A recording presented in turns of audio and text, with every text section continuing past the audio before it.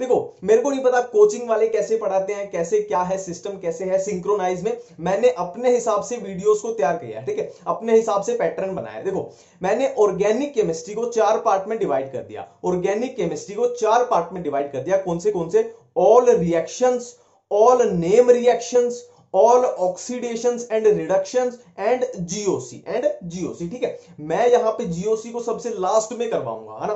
क्योंकि वही है ना कि मैं अपने स्टाइल में, अपने यूनिक मैनर में वीडियोस बनाऊँगा, मैं जीओसी को सबसे लास्ट में बनाऊँगा। अब आप बोलोगे कि जीओसी तो सबसे पहले होनी चाहिए, उसे कंसेप्ट यहाँ पे अप्लाई होंगे तो आप देख लेना, जब ये वीडियोस करेंगे ना तो आप देख लेना कितना क्या कंसेप्ट अप्लाई होगा या नहीं होगा, ठीक है? तो अब इनके बारे में एक एक करके बात करते हैं, इसके बारे में, इसके बारे में, इसके बारे में, इसके बारे में, ठीक है? देखो, सबसे पहले पहले है ऑल रिएक्शंस ऑल रिएक्शंस में मेरा मतलब क्या है? देखो ऑल रिएक्शन में अपने साथ क्या आएँगे?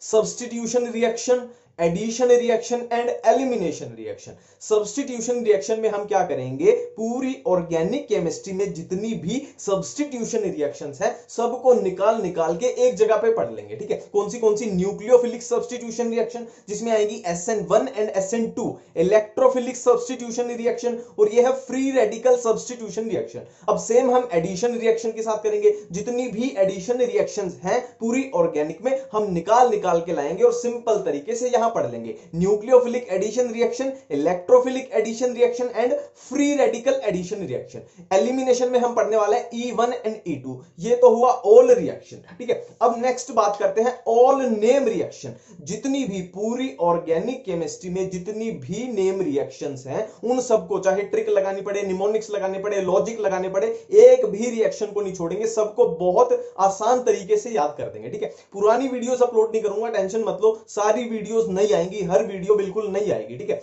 नेक्स्ट है ऑल ऑक्सीडेशन एंड रिडक्शन इसमें पूरी तरीके से लॉजिक लगता है ना? मैं आपको दिखा दूँगा, अगर हम पूरी ऑर्गेनिक की ऑक्सीडेशन और रिडक्शन एक जगह पे करें तो पूरे तरीके से लॉजिकल है लॉजिक के बेस पे ये कंप्लीट हो जाएगा।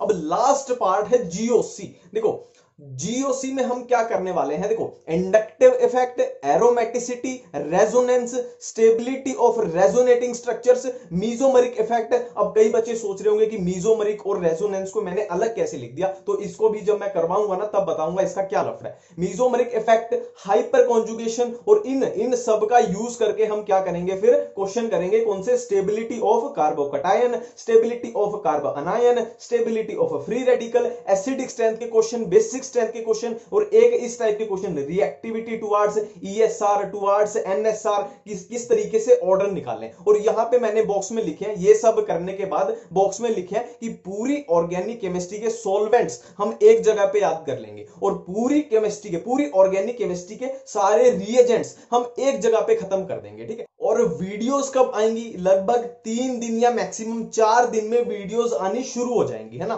तो थोड़ा अपडेट रहना, ठीक है? Thank you.